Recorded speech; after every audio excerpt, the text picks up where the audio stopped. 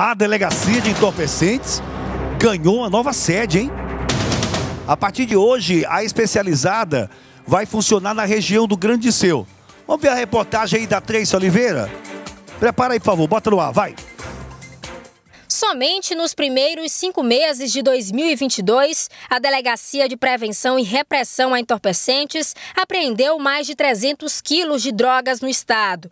Um trabalho exitoso que passa a contar com mais estrutura após a inauguração da nova sede da DEPRE, localizada no bairro Parque Ideal. É, para a gente é uma responsabilidade, estamos recebendo equipamento é, muito bom, vai agregar demais o serviço aqui da DEPRE. É, vamos procurar é, dar resposta ainda mais né, do que as, a, unidade vem dando ao longo do, do, ano, ao longo dos anos.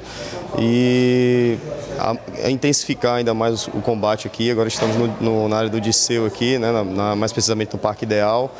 É, pretendemos fazer ações e, aqui na região e, nas, e continuar as, as, ações nas demais regiões da, da, capital. A região do Grande Disseu, onde a sede da DEPRE agora está localizada, acaba ganhando um reforço, principalmente porque são registradas muitas ocorrências de tráfico de drogas envolvendo grupos criminosos que atuam na zona sudeste da capital. A reivindicação também da população, das lideranças comunitárias, a governadora do estado, ao assumir o, o, o governo do Estado, reuniu a cúpula da segurança e a, a determinação é essa, é que nós de forma qualificada, com treinamentos, inclusive dessa equipe que nós fizemos, nós possamos fazer esse enfrentamento das organizações criminosas, porque o pano de fundo é exatamente essa disputa pelo tráfico de entorpecentes, então precisa realmente de um enfrentamento qualificado e é o que nós estamos fazendo aqui.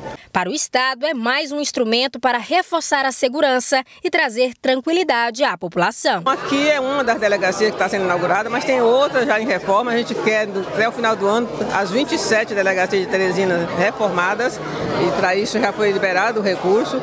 E também no interior, algumas do interior também, que a gente visita e estão em situações de necessidade de alguns acertos, alguns ajustes, nem, nem todas precisa construir, mas tem reforma, sempre tem reforma para fazer e a gente espera poder fazer isso, porque o ambiente de trabalho é tudo para alguém que está começando um dia, que ele chega num ambiente de trabalho que não é agradável, ele não, não tem nem coragem de continuar. Então, o ambiente de trabalho, as condições de trabalho é, muito, é fundamental para que eles produzam mais do, na sua profissão.